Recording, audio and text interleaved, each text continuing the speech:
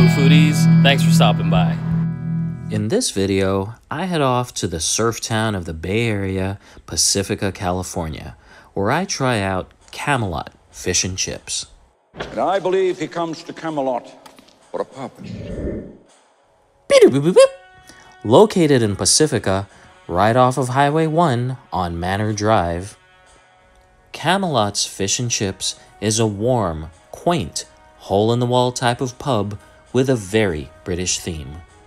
You sound like you're from London.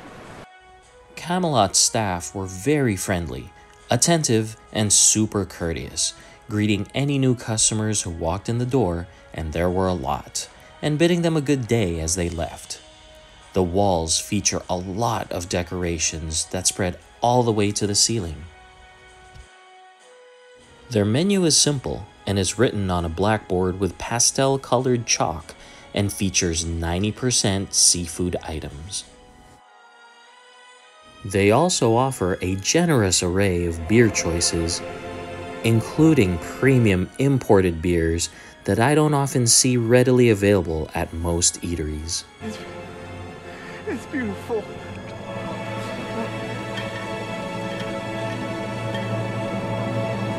Tell me what you want, and it's yours. I ordered the Camelot, which features one piece of fish, three scallops, three shrimp, three oysters, all deep fried, and chips at the bottom of the platter. Tartar sauce and vinegar readily available for the asking. Now, I don't usually order fish and chips because a lot of times I find the batter is too doughy or the fish is dry and fishy. I'm sorry. I'm, I'm just gonna have to say no. However, Camelot changed my mind. The fish was delicious. The batter was flaky and outlined the fish appropriately. The fish itself had juices, was easy to chew, and was neither fishy nor overpowering. Plus, the tartar sauce complemented the fish perfectly. The oysters were robust with flavor down to the very last bite. The shrimp was amazing. The batter was wonderfully crunchy without being doughy or overcooked and had me craving more. The scallops were bite sized and were not bad. The deep fried items of my dish were good, but I did not enjoy the fries.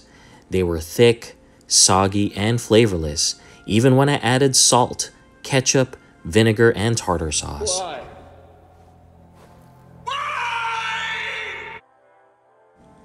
Overall, with the ambiance, the great customer service, and the deliciousness of the main course, I enjoyed my eating experience at Camelot's Fish and Chips. After my meal, I had a leisurely stroll on the beach, which was only half a block away from Camelot's.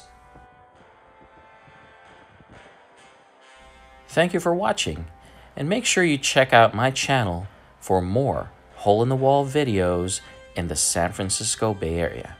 Thank you.